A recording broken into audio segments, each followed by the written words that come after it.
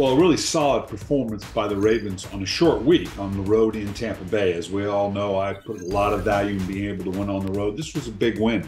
And some really creative play calling by Greg Roman, particularly in the second half, leading to a, a Ravens night, 231 yards rushing uh, against a pretty good Bucks defense. Let's look at a couple plays where some of this creativity really jumped out at me. First one, this is a beautifully designed play. Uh, Linderbaum and Zeitler are going to double team and working to the right and work to the second level. Okay, Powers and Stanley on the left side also double, also work to the level. Now this is what really gets interesting likely pulls from the backside. Now, we've seen this combination all the time where you let the defensive end go, and you're going to see Lamar fakes to Edwards. Now, he could either give or he can fake, and you typically see him go to the outside and follow the blocker, this time unlikely. Likely Likely was able to bypass the defensive end because he was too far upfield. Lamar sees this. He now kind of follows on the inside. Now, what I really want you to see is watch how Linderbaum works up he blocks his man and maintains contact almost for 20 full yards. Great job by the receivers down the field. Lamar obviously doing what Lamar does. Great job cutting back. But this was just a spectacular design play, just a, just a fun play to watch. The next one is just a simple zone play. But again, what I want you to watch and bring your focus to is the downfield blocks of Linderbaum and Moses and Ricard and how they maintain their blocks all the way down the field. And then, as we talked about last week, the physical downhill running style of Gus Edwards, slashing, getting down the field. This is just a very simple, straightforward play that you can obviously do because Tampa Bay is also waiting for something else to happen because of all the movement and Lamar on the outside. Now, next we're getting into the passing game, and it was nice to see Likely uh, in absence of Andrews. It was tough to lose Andrews, but likely after we see him in preseason and the impact he can have, here you're going to see uh, the Ravens empty out the backfield. Well, what does that do? Well, uh, when the linebacker runs with Drake, Lamar knows now it's man coverage, and that's going to affect where he goes with the ball. At the top of the formation, it's a bunch set and likely sets the bunch. He's filling in for the Mark Andrews here, and he sets the bunch, and he ends up running basically a shallow cross because Lamar sees that it's man coverage, he knows exactly where he's going to go with the ball. Nice tight hole into likely, and they get a really good, solid 17 yard gain. Next, this is kind of a fun, fun play. Oliver shifts down from the backside from a slot, and this this has got run written all over it.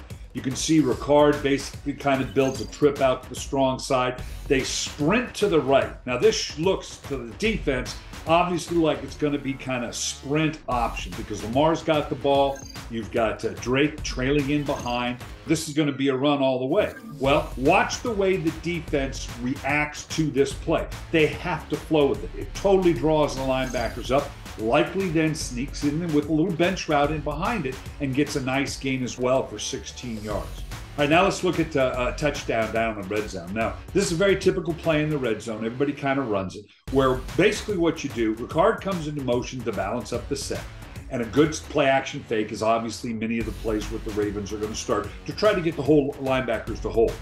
Likely sets the bunch and runs a deep route at the end of the end zone, while Robinson and Proche run crossing routes to pick off one another, one plays off the other, typically for man coverage. Well, the Bucks cross them up and they run a zone package. So now immediately Lamar doesn't have any place to go, does a great job of buying some time, getting outside of the pressure, waiting for likely to move along the back of the end zone into one of the voided zones. Lamar clearly could have pulled the ball down here and taken off, and he'd probably been fine in doing so and gotten some yards. But he recognized with the zone and with likely moving along the back of the end zone, if he could just buy some time, he was going to be able to find a hole, and that's exactly what he did for the TD throw.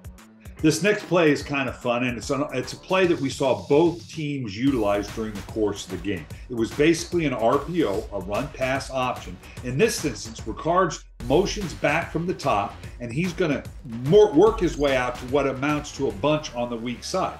Now, the offensive line is running a counter play. The backside guard and tackler are pulling. And this gives the option, and you're going to see uh, Gus Edwards could have gotten the ball and, and probably done very well with the counterplay. But Lamar's got to recognize you can see with the motion, the defense stays static. They don't rotate out. They maintain the box because obviously they're anticipating the run. And the number count says that the counter probably wasn't going to work. They do nothing in the secondary on the backside. When Ricard moves across, you can see Duvernay step back to get the one step screen. Likely does a good job chasing down the lead coverage, as does uh, Ricard as he comes out. So this was a clear RPO. The box stays static. Lamar pulls it out, hits the one-step quick screen to Duvernay, and obviously it's a it's a big game for 13 yards. So some really creative play calling. Uh, particularly in the second half. Uh, the Ravens have well-deserved mini bye here after a Thursday night game. They got on the go on the road again to New Orleans and see if they can maintain this style of play going down into the Big Easy.